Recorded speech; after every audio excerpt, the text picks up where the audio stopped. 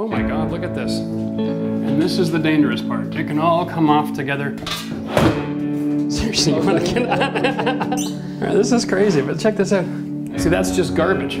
Are you kidding me? We had all this space? I haven't run into a house yet that had square walls. Love working on these old homes. These are my bread and butter. I gotta say, this floor is awfully comfortable. Wow. Wow, that's actually a rain cloud. We had all this space? The whole ground is heaving. Perfect every time.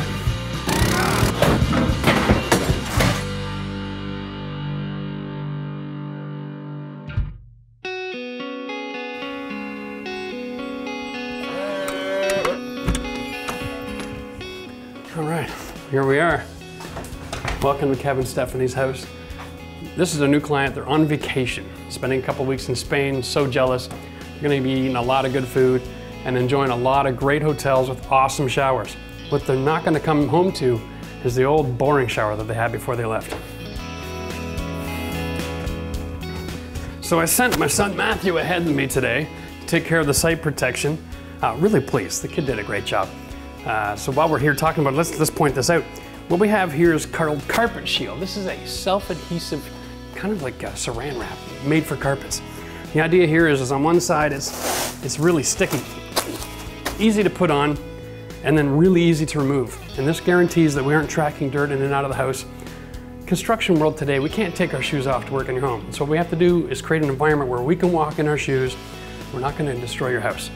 Up on this level, this is what we call ram board. Now it looks like cardboard, but it's extremely thick. And it has another property. They've got a, in the production cycle of this, they make it so that it's sort of water resistant. So even if you have a little bit of a spill or something, it'll, it won't soak through into the floor underneath. And so again, we tape this down with great care to make sure that everywhere we're walking, we're not gonna scratch or damage the floor. It's important, I think, I'm always a guest in your home. All right, wow, so you can see that this bathroom, Matt's just starting to take off some of the fixtures before we start the demolition. You can see this bathroom's not bad. I mean, in the grand scheme of things, it's a four-piece bath, it's got a huge tub. Again, you know, the era of who the tub sells the bathroom. If you're like these folks, they've only used it once or twice in the entire time they've lived here, which is 10 years. So a lot of these bathrooms nowadays, that's one third of the room is taken up with useless fixtures. So what we're gonna do is we're gonna rip everything out of here. We're gonna reframe the wall. This is a joining wall with the semi-detached neighbor. And we're actually reframe it so we can run all, run all of our plumbing and electrical exactly the way we want it. And we're gonna build in a shower nook, like a whole ledge. We're gonna move the door over to the other end where the tub is now. We're gonna hang one of those barn doors on a nice chrome rail. And that's gonna really open up the space. That gives us room to add in a his and hers double vanity you know, double mirror, double light fixture. That's gonna be awesome. And then we'll move the toilet from that location over here. This wall will be gone, it'll just be a sheet of glass. And what we're gonna have is a barrier-free shower, gorgeous stone, extra lights, rain shower head, you know, shower bar one fixture. We're gonna put in a heated floor. We're really gonna dress it up nice. This is the situation, and the ensuite bath sells the house.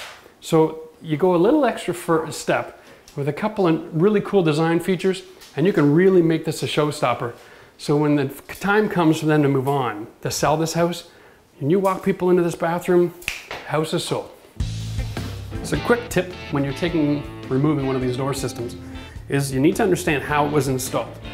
You need to be really careful. You're not gonna have an accident. So basically, this is like a closet door. The wheels are just hanging on the top track. And this is the dangerous part. It can all come off together.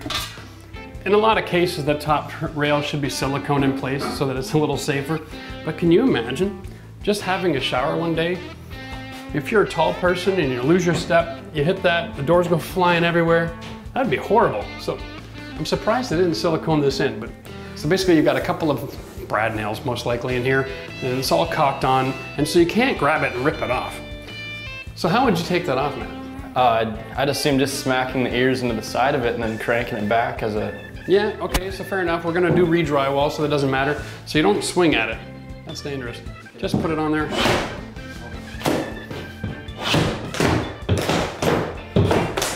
Right, and look at that adhesive. Oh my God, look at this. MDF door, they use baseboard pieces as shims. New home construction, folks, gotta love it. I know the world is looking for ways to make things that don't require cutting down trees, but see, that's just garbage. If that was a solid piece of wood, I could have taken it off and reinstalled it again. The tub, how heavy do you think it is? 70 pounds. Probably not quite that bad. Okay. Now, it shouldn't be attached to anything. I've cut the silicone and removed all the fixtures. Let's see if we can get lucky and just give it a yank. Yep, it's gonna be okay. It's not that heavy, although it is a little easier to do if you're not in the tub at the time. Yeah. Seriously, you wanna get It'll just pop right out. And then, there we go. Classic, eh? All right, this is crazy, but check this out. I don't know why, but every time I pull out a tub, somebody has left a bunch of crap garbage in the tub area. This is insulation. There's nothing here to insulate. The wall's all closed off. The insulation's on the other side of that wallboard. This is just somebody, I mean, they're not insulating this tub to keep the heat in, or there'd be like a lot of insulation. So either they were trying to insulate the tub and they were lazy, or they just had to clean up a mess and they were lazy. So welcome back to our barrier-free shower. We are about midway through the project right now. We've got all of our drywall on, our last coat of taping is finished. We have all of our mechanical finished and our shower pan is installed. And this is cool. This is what I was talking about earlier. We got two separate pans that slope down to the middle. And this is where our drain goes, right in here. And so we're going to use the kind of drain that the insert actually has got the same cloth on it so that it can receive a tile. And when we're done tiling this, all you'll see is this grout line won't have grout and the water will rush down the pan and into the drain. So what we're gonna do today is we're gonna just finish off all of our waterproofing. That way we're ready to sand, prime, and paint before we tile. Generally speaking, as a rule, I like to do that first. Um, if you put the tile down and then you're doing all of that other work, you've got to do all kinds of site protection to keep everything clean. So instead of rushing ahead and getting in the tile, we're going to take the time, sand prime, we're going to paint the ceiling, put one coat on the walls at least, and then it'll be a lot easier to do the grout work after the tile's finished because we'll have surfaces that we can actually wipe off with the sponge. We are using the Schluter Kerdi system and the Kerdi membrane and the prefab shower pan linear drain. So when you work with the Schluter products, use the Schluter tools. It's not the end of the world to buy a couple more tools. They have these little things. These are awesome. Now, in most showers, you don't need to put a gasket around a shower head. Water's never gonna get up there. But nowadays, there's a lot of people using this system where you'll have an elbow here going to a water line on a hose attached to an adjustable slide bar. Now you're dealing with a hole in the wall that's lower that's gonna see some water. So it's best to waterproof this area right here. So the next thing we're gonna do is we're gonna put down our curb. Now, my curb is a bit of a cheat. When I bought the shower pans, they were extremely large. They were, each of them were uh, five feet by five feet. So I had a lot of excess material. So what I did is I took a couple inches off the highest part of each of those and I'm gonna use that as my curb. Here we go. So this tray has a integrated waterproofing flange that's part of the drain system. They give a 10-year warranty if you install it properly, and you don't ever have to think twice about it. So that peace of mind, not just for my client, but for me, it's worth its weight in gold. This is a Ditra trowel. It's been used a lot. Probably should keep my tools cleaner, but basically just once we get the cement on the floor, we're gonna comb this out so we can lay our mat into it. Now this is our heating coil.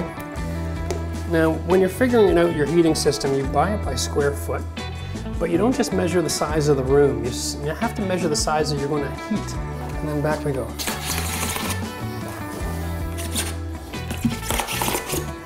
Make contact with the two wires. We're checking the resistance. And then we make that record. Yeah, right on the money. Everything's fine. Which you kind of expect because uh, other heating cable systems, they don't come with an insulated line like this. This is kind of cool. You'd have to do something pretty stupid which is why we use a rubber float to put it down, not a metal trowel.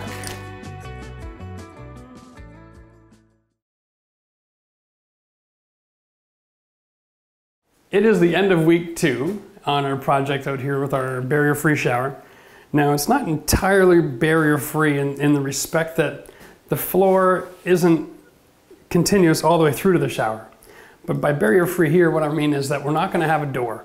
So we're just gonna have the glass. So you can see the shower here is basically built. We've got another good day of tiling left to go. But you can see how it's taking shape. We have our drain system down here with our removable drain. And this is all slope. The heating coil I brought right into the shower area. I did it on the far corner over there. Now I know some of you, I mean, maybe up on your Schluter technology, and Schluter does not have a technique for bringing that into the shower right now. They've had a couple of issues with heat with their curb and wrapping the wire. So what I did is actually I took it across the, the backside underneath my stone, inside the, the waterproof area, and then I just coiled it through from there. I used a hot glue gun right onto the mat. Uh, very effective technique. It gives you good spacing, nice warm heat. Uh, there's no sense coming into a bathroom with a heated floor to step onto cold tile to turn on your shower and wait for the water to heat up the area. Especially shower this big, the floor's always gonna be cold. Absolutely needed heat, so we did what we had to do. The shower nook here, we had a good idea when we got started where the shelf was gonna be, but we built it in such a way that it's very easy to take the wall apart. Now our next tile lands right on that line. So after my second course was done, I measured off again, opened it up, cut it, and I just finished waterproofing this just a few minutes ago. Now I waited until after I was done my first two rows on the bottom. I got it all perfectly level and square, let it set up overnight. Then when I come back, that's when I open up my hole and get it all perfect. No sense trying to do everything in one day. Uh, there's lots of work to do in a bathroom, so get it on, get it dry, make sure when you're measuring you get it perfect because this is one spot where you don't want to have a grout line that's growing or shrinking or, or it's out of position or there's not enough room to add proper cement for your sill. Speaking of sill, here we go, marble. Nice and cute. This is gonna sit right on top. We'll pull it out a little bit, add the one degree slope, and then on the back we're putting our marble mosaic, the same as the mosaic strip that's gonna go down the wall here. You can see that we have the second row of this tile that'll continue on up to the ceiling as well. So we're gonna wrap this whole area in the sill. I kind of like that look. Whenever I get a chance, I like to use the marble sill or maybe a quartz product. Uh, it's just a nicer look than having all the extra metals or plastics in the shower. And it's a nice spot too when you have a little protrusion there, a little bit of contrast, a little bit of texture really works well because you can get a little thin bead of silicone after the fact, not as a sealer, but just to keep the grout from cracking. So as you can see, the tile on the floor in the um, bathroom area is finished.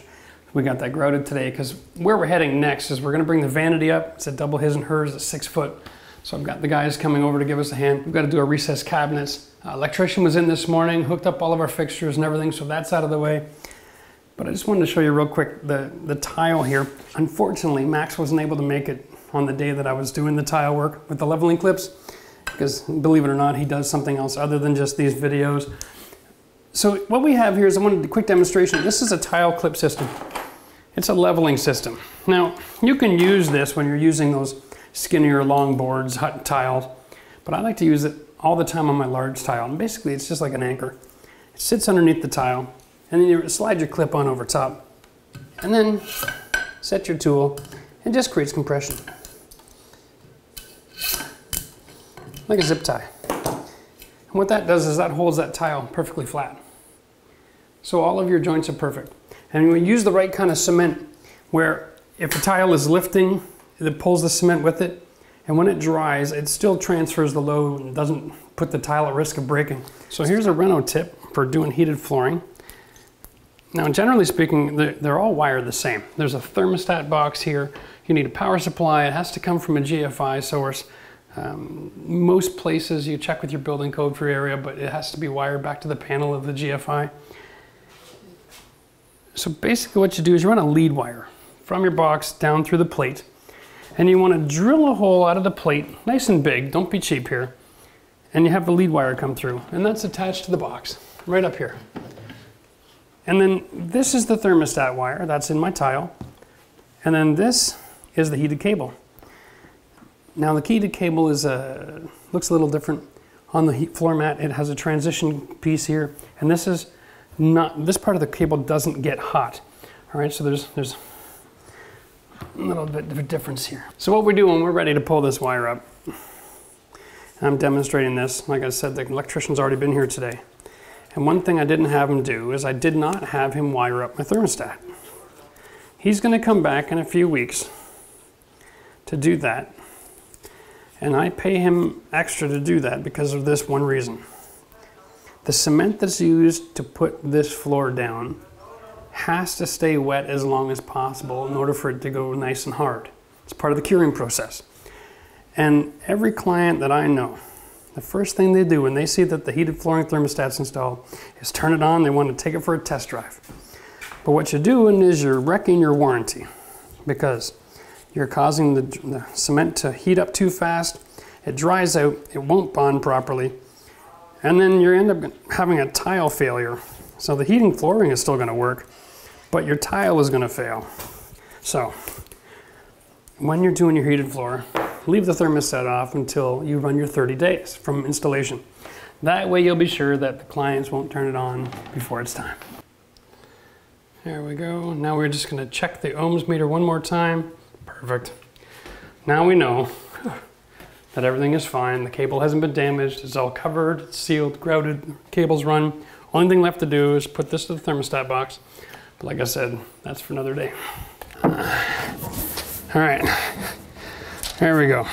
That way, and you won't be able to do a touch up on it, but you can do the touch up on the handrail. So you pay attention to that side.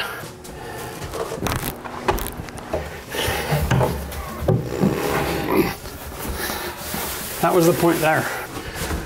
Oh, okay. Let me just sit on the stair here. No. Straight back. Don't turn the corner yet. Down.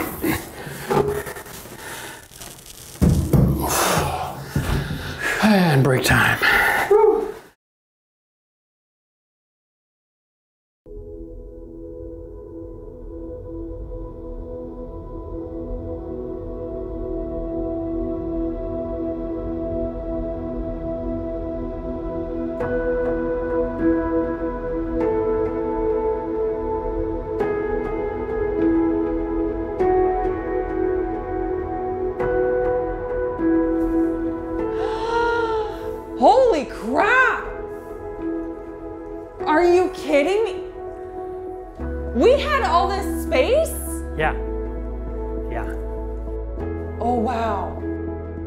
Okay, the cabinets are amazing.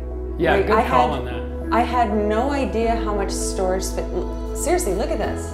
Yeah, they're huge. Yeah, they're And they've got so much 24 around by 30, It's and everything is mirrored. Yeah, So great lighting. Yeah. See, I was really worried because I picked everything know. and then I didn't see the process to see how it would go in together. Yeah. And it, oh my Jesus. I have a new place to pee! the That's that's, the the, drain, drain. right That's there the in the invisible drain. Yep. Oh my, it really is invisible. Your shower is now four by seven and a half feet. Which is Oh, and it's got the plenty of room. handheld thing. Oh yeah. Yeah, it's adjustable bar. Thermostatic and pressure balance valve. What, what does that mean? It means uh, you can set your temperature, so all you do is turn it on. Oh, okay. And you don't have to think twice. And if somebody flushes the toilet, it adjusts for pressure and keeps your temperature. Oh, okay, so no more morning surprises. Yeah. And with the rolling door, Yeah. like you've got all this floor space that's uninterrupted. That's it. No more swing. Everything's out of the oh way. Oh my god. I, d- Heated flooring. Right into the shower. toasty, the shower too? Oh yeah. Oh yeah. my God. You can't have a warm floor to step on cold tile to have heated up floor from the shower water. Because if your shower's so big, you gotta have a. Yeah, we're gonna have a So cold we, spot at the end. we the heat end. the That floor. makes sense. Yeah. Oh my So we brought it all the way through. Well, thanks for joining us today. And if you'd like to see the projects that we're doing in the future, hit the subscribe button so you get notified every time we have a new video. Or check out the link over here and you can check out some of our past projects. While you're making that decision, I gotta find a new color.